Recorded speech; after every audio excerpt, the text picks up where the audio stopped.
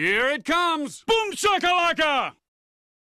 Bom dia a todos e um bom dia especial a quem é novo por aqui, porque são alguns milhares de novos inscritos depois de uma semana bem movimentada, com tópicos bem polêmicos aqui no Boom Chacalaca, muitos views, muitos novos subscribers. E lembram que eu falei que o vídeo sobre o Los Angeles Clippers fez a gente chegar ao terceiro dia com mais visualizações da história do Boom Chacalaca? Pois com o vídeo do Paul George, lançado dois dias atrás, conseguimos o segundo dia com mais views na história do canal. 49.552 views, muito obrigado e vocês gostam de uma polêmica, né? No vídeo de hoje eu vou mostrar como foi feita a construção, na verdade a reconstrução desse Denver Nuggets que tanto encanta a gente atualmente. Hoje finalista da Conferência Oeste contra os Angeles Lakers. Nesse momento, a série ou está 1 a 1 ou está 2 a 0 para os Lakers, porque o jogo 2 vai ser entre esse momento que eu gravo e o lançamento do vídeo, mas não faz diferença quanto está a série, mesmo que os Nuggets sejam varridos pelos Lakers, não muda o que vou falar a partir de agora. Pergunta: como um time desacreditado em meio a mais concorrida do que nunca a Conferência Oeste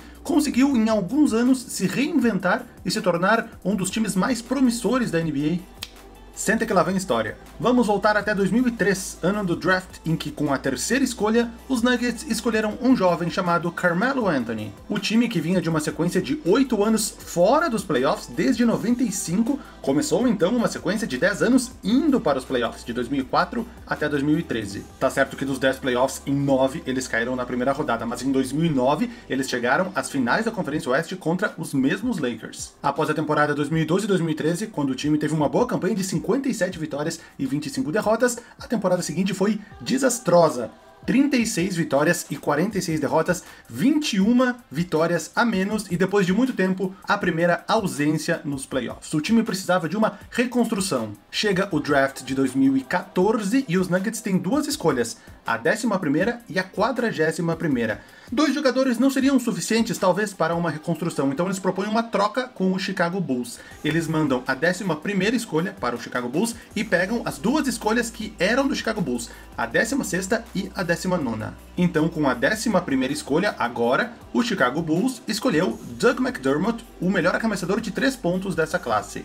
Agora se liguem nas três escolhas do Denver Nuggets. Com a 16 escolha, os Nuggets escolheram o bósnio Yusuf Nurkic. Com a 19 escolha, escolheram Gary Harris, de Michigan State, e com a 41ª escolha, os Nuggets escolheram o sérvio Nikola Jokic. Bom, deu para perceber quando exatamente esse time do Denver Nuggets começou a reconstrução, né? No mesmo draft, eles pegaram Yusuf Nurkic, Gary Harris e Nikola Jokic, com a melhor escolha dessas sendo a 16ª. A reconstrução começou sim nesse draft de 2014, mas não na temporada 2014-2015. Jokic jogou mais uma temporada no Mega Basket, o seu time sérvio, mesmo depois de draftado pelos Nuggets, Yusuf Nurkic jogou apenas 18 minutos por jogo em 62 jogos, com médias de 7 pontos e 6 rebotes, e Gary Harris, ainda buscando seu espaço no elenco, pouco jogou, 13 minutos por jogo em 55 jogos e apenas 3,4 pontos por jogo. Na verdade, a temporada 2014-2015 era o fim de uma era, né? Era a temporada de transição.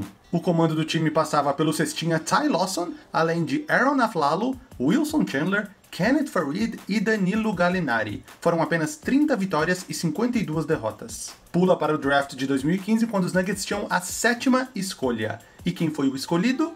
Emmanuel Murier, da República Democrática do Congo, que havia optado por jogar um ano na China ao invés de ir para uma universidade americana. Agora em 2020 a gente sabe que o Muriel não vingou. Porém, se a gente olhar para a temporada de rookie dele, ele foi bem. 13 pontos e 6 assistências por jogo, começando 66 dos 68 jogos como titular e beliscando uma vaga no segundo time de rookies. Mas essa não foi a melhor notícia da temporada 2015-2016, porque estreou no time um tal de Nikola Jokic.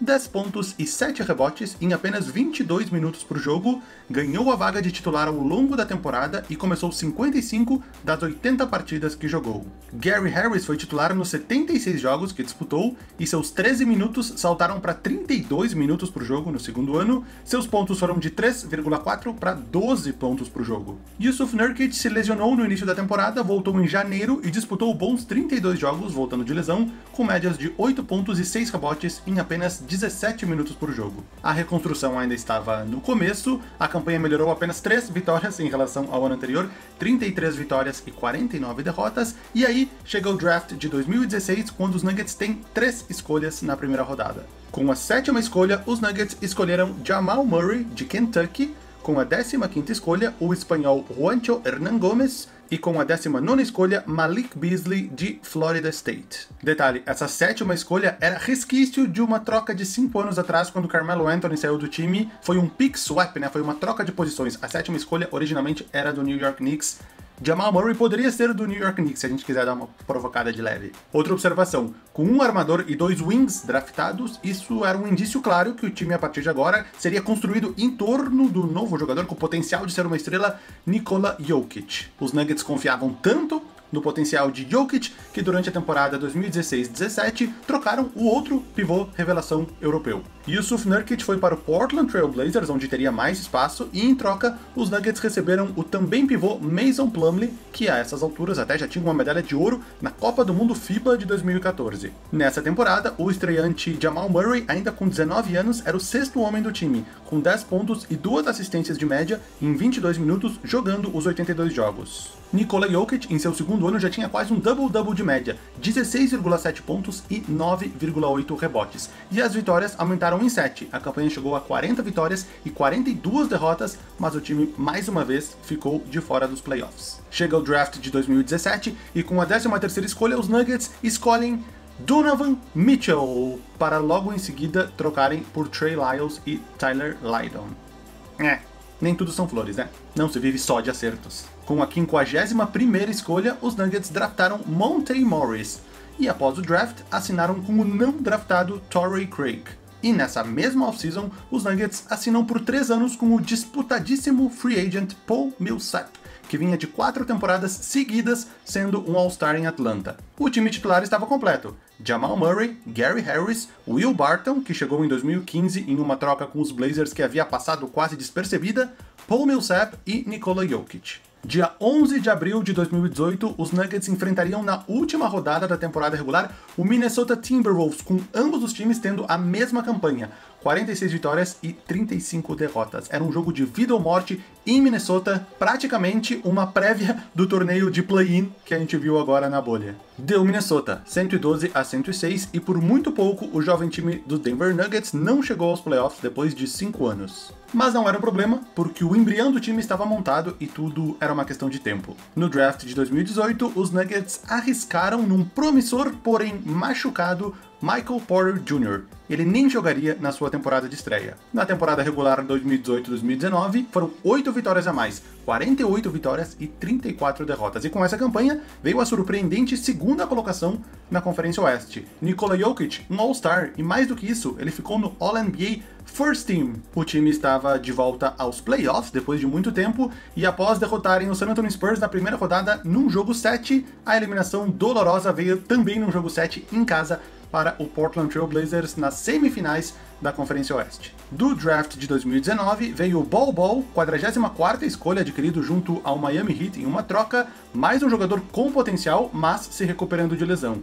E em outra troca, com o OKC, por uma futura escolha de primeira rodada, veio o polivalente Jeremy Grant. E então chegamos na temporada atual. Querem que eu repasse todo o elenco, tipo uma retrospectiva do que aconteceu? Gary Harris, 19ª escolha do draft de 2014. Nikola Jokic, 41ª escolha do mesmo draft. Will Barton veio por troca em 2015. Jamal Murray, sétima escolha do draft de 2016. Mason Plumlee veio por troca 2017. Monte Morris, 51ª escolha do draft de 2017. Torrey Craig, undrafted não draftado desse mesmo draft. Paul Millsap, free agent de 2017. Michael Porter Jr., 14ª escolha no draft de 2018. Ball Ball, 44ª escolha no draft de 2019. E Jeremy Grant veio por troca em 2019. Vou deixar essa imagem um pouco mais na tela para analisarmos. Nenhuma escolha foi acima da sétima, do Jamal Murray, que veio através de um pick swap.